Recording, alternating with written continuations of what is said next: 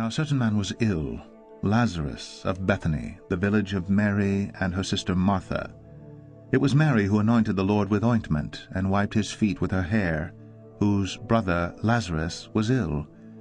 So the sister sent to him, saying, Lord, he whom you love is ill. But when Jesus heard it, he said, This illness does not lead to death. It is for the glory of God, so that the Son of God may be glorified through it. Now Jesus loved Martha and her sister and Lazarus. So when he heard that Lazarus was ill, he stayed two days longer in the place where he was. Then after this he said to the disciples, Let us go to Judea again. The disciples said to him, Rabbi, the Jews were just now seeking to stone you, and are you going there again? Jesus answered, Are there not twelve hours in the day? If anyone walks in the day, he does not stumble, because he sees the light of this world. But if anyone walks in the night, he stumbles, because the light is not in him. After saying these things, he said to them, Our friend Lazarus has fallen asleep, but I go to awaken him. The disciples said to him, Lord, if he has fallen asleep, he will recover. Now Jesus had spoken of his death, but they thought that he meant taking rest in sleep. Then Jesus told them plainly, Lazarus has died. And for your sake I am glad that I was not there, so that you may believe. But let us go to him. So Thomas, called the twin, said to his fellow disciples, Let us also go, that we may die with him. Now when Jesus came, he found that Lazarus had already been in the tomb four days. Bethany was near Jerusalem, about two miles off, and many of the Jews had come to Martha and Mary to console them concerning their brother. So when Martha heard that Jesus was coming, she went and met him, but Mary remained seated in the house. Martha said to Jesus, Lord, if you had been here, my brother would not have died. But even now I know that whatever you ask from God, God will give you. Jesus said to her, Your brother will rise again. Martha said to him, I know that he will rise again in the resurrection on the last day. Jesus said to her, I am the resurrection and the life. Whoever believes in me, though he die, yet shall he live. And everyone who lives and believes in me shall never die. Do you believe this? She said to him, Yes, Lord, I believe that you are the Christ, the Son of God, who is coming into the world. When she had said this, she went and called her sister Mary, saying in private, The teacher is here and is calling for you. And when she heard it, she rose quickly and went to him. Now Jesus had not yet come into the village, but was still in the place where Martha had met him. When the Jews who were with her in the house consoling her saw Mary rise quickly and go out, they followed her, supposing that she was going to the tomb to weep there. Now when Mary came to where Jesus was and saw him, she fell at his feet, saying to him, Lord, if you had been here, my brother would not have died. When Jesus saw her weeping, and the Jews who had come with her also weeping, he was deeply moved in his spirit, and greatly troubled, and he said, Where have you laid him? They said to him, Lord, come and see. Jesus wept. So the Jews said, See how he loved him? But some of them said, Could not he who opened the eyes of the blind man also have kept this man from dying? Then Jesus, deeply moved again, came to the tomb. It was a cave, and a stone lay against it. Jesus said, Take away the stone. Martha, the sister of the dead man, said to him, Lord, by this time there will be an odor, for he has been dead four days. Jesus said to her, Did I not tell you that if you believed you would see the glory of God? So they took away the stone. And Jesus lifted up his eyes and said, Father, I thank you that you have heard me. I knew that you always hear me, but I said this on account of the people standing around, that they may believe that you sent me. When he had said these things, he cried out with a loud voice, Lazarus, come out! The man who had died came out, his hands and feet bound with linen strips, and his face wrapped with a cloth. Jesus said to them, Unbind him, and let him go. Many of the Jews, therefore, who had come with Mary, and had seen what he did, believed in him. In name of the Father, Son, Holy Spirit, one God, Amen. Today's Gospel is from John 11, 1 to 45, and this is the story about raising of Lazarus. Raising of Lazarus is mentioned many times during the year, and this is one of them. But this is probably one of the most important miracles, if not the important miracle of our Lord Jesus Christ, if you do not count his own resurrection. The reason is Lazarus, who is a close friend of our Lord Jesus Christ, died. And not only died when our Lord reached his tomb, he had been four days in the grave. And strangely, our Lord was aware that he died and he got notification that he is very sick. And the gospel says, when our Lord knew that he is sick, he said, This sickness is unto death, but not unto death, but for the glory of God. And he stayed two further days. And then our Lord reached Lazarus and Martha and Mary, and that's the house he always liked to stay in in Bethany. And when he arrived there, both of them were weeping and crying. Martha met him first and she said, Lord, if you were there, my brother would have not died. He told her, If you believe, you will see more. And then Mary came, and everybody followed her to the tomb. And when they arrived to the tomb, Mary also said the same thing. If you were there, Lord, my brother would have not been dead. And our Lord repeated, I am the resurrection and life. And then our Lord, when he was confronted with the two sisters and their feelings, he showed his human side of feelings towards his friend's death and he cried. He groaned and he cried. And this is probably maybe the third time our Lord is mentioned to cry. One before Lazarus, one over Jerusalem, which happened a few days after this miracle, when he said, Jerusalem, Jerusalem, if you were to know the time of your visitation. And the third in Gethsemane.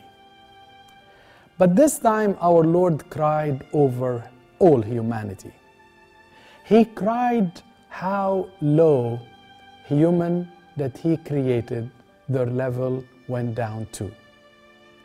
They went to the level that the sin became so overruling them to the extent death became the norms. Everybody has to die. And our Lord cried that sin have infiltrated humankind and death became the norm. But also we need to pay attention to many other th- things in this miracle. One of them our Lord's delay or seemingly delay. Our Lord knew that his friend that you love is sick. But when he heard that he was sick, he stayed two more days in the place where he was. And by the time he arrived, it was four days that he was in the tomb. And maybe this is one of the things we always like to tell our Lord. Why, our Lord, when we call you in something that up to your will, you come late? And our Lord probably will say, This is for the glory of God. I would have come earlier and the miracle would have been healing. But if I come late, the miracle becomes hundredfolds raising of the dead. Sometimes we ask God for a minor thing and we don't see it accomplished. But when he delays his response, we see even much more intervention of our Lord into our lives. Otherwise, we would have not thought that will ever happen. The second lesson in this miracle is our Lord's feelings. Our Lord is 100% God, 100% man, without separation even for a twinkle of an eye. His humanity and divinity without mixing, without intermingling, and humanity and divinity united without separation. And his humanity appears today in front of the tomb and the grave of Lazarus, weeping, crying, sharing the pains and sufferings of mankind and his own beloved family. And that's his humanity. Although minutes later, his divinity will call upon Lazarus, Lazarus, come forth. And this is very important because in many miracles, we see both. Like we see our Lord walking on the water, and we see our Lord telling the storms, enough, shut. And we see our Lord starving or eat, needing to drink or to food or to be thirsty. But we see him also in his power and every time after. His humanity and his divinity, almost always in every miracle, we see them. We see him thirsty for the Samaritan woman, but we see him thirsty on the cross, and then all nature complains that the Creator is actually naked on the cross. The other point about Lazarus that our Lord spoke about working. He said, 12 hours in the day, if anyone walks in the day, does not stumble. But because he sees the light of this world, if anyone walks in the night, he stumble because the light is not in him. And our Lord speaks of the day light and the hours of the day that we should be working while we have life because there will be night, there will be time that either will be dead or sick or we can't work. We need to serve as much as we have light, as much as our lives still exist, as still we have a breath in our nose. If we do not, then the night has come. Exactly what happened with the foolish and five wise virgins. At one time, their oil finished and they slept and they woke up and five of them were able to lit their lamps and the others could not. And at that time, we say, Am I able to use the time for the glory of God? Or I am wasting my time throughout many, many things in my life. And when the night comes, I will not be ready because I didn't work the 12 hours of the day. The other lesson in Lazarus' story is the deity, the divinity of our Lord, that he is above death, even the death and being rotten for four days in the tomb. This miracle was so important to the extent Palm Sunday, which happens a day after this miracle, Lazarus and Jesus enter Jerusalem together, and the Jews and the high priest wanted to kill even Lazarus. The reason is the people who were four days ago were sympathizing with his sisters coming today to celebrate his resurrection. And this is one of the proofs that Jesus is God. He is not just a simple man or a prophet or arch prophet, but he is God incarnate. And that's why this is one of the few miracles mentioned in the Gospel of John, because every miracle mentioned in the Gospel of John were mentioned to prove the deity of our Lord. Exactly like converting the water into wine. Our Lord does something very interesting. He tell the people, remove the stone. And you always wonder, Lord, you have power to bring his spirit back to him after four days, and you are asking for assistance from us to move a stone? Isn't the Lord that he could raise Lazarus could have also moved the stone? Lord, in your own resurrection, you resurrected while the stone was left, and then it was moved to reveal and declare your resurrection. Why do you need a person or persons to help you showing Lazarus out of the tomb? And maybe the answer was I want to share with mankind every act of love I do to other people. I want you people to help in the way you can and let me do the things you cannot do. You cannot convert water into wine, but you can fill the pots with water. You cannot raise Lazarus from the death, but you can move a stone. And our Lord wants our share in His miracles. And that's why when we decline helping, sometimes He wonders and says, I want to do wonders amongst you. But you are holding me because you do not want to do the simple little things moving a stone, filling the water, helping somebody. Let me do the healing, the curing, and resurrection. Finally, Lazarus came out and he asked also for another help from the people. Now loose him and give him back to his family. Loose him and let him go. And again, Lord, you could have done it. You have done it to your own self.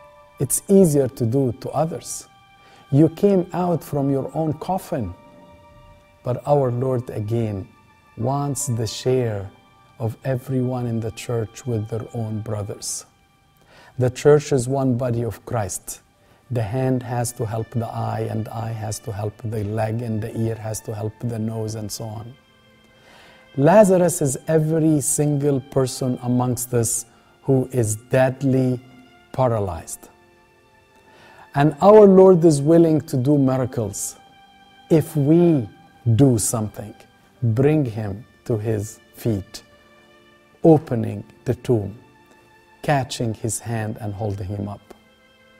So today is a miracle of hope and a miracle of sharing with God in his work amongst people. I hope we learn many, many of the lessons happen with Lazarus. Glory be to God forever. Amen.